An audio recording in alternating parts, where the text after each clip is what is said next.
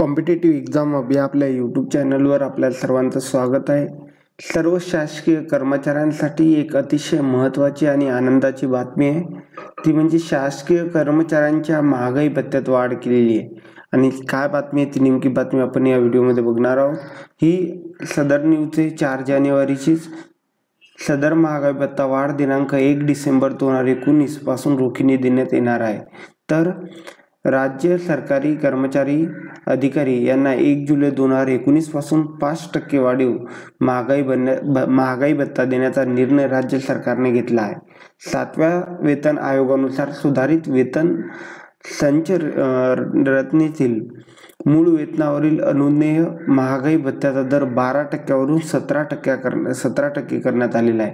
तसेच सदर महागाई भत्ता वाढ दिनांक एक डिसेंबर दोन हजार एकोणीसपासून रोखीने देण्यात येणार आहे आणि एक जुलै दोन हजार एकोणीस ते तीस नोव्हेंबर दोन हजार एकोणीस या पाच महिन्याच्या कालावधीतील महागाई भत्त्याची थकबाकी नंतर स्वतंत्र निर्णय घेऊन देण्यात येणार आहे. तर दरम्यान महागाई भत्त्याची रक्कम प्रदान करण्यास संबंधित तरतुदी आणि कार्यपद्धती सध्या आहेत.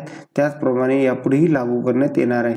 तर सर्व शासकीय कर्मचाऱ्यांसाठी ही आनंदाची होती बातमी होती. आपण सर्वांनी हा व्हिडिओ ऐकला त्याबद्दल आपल्या सर्वांचे आभार. धन्यवाद.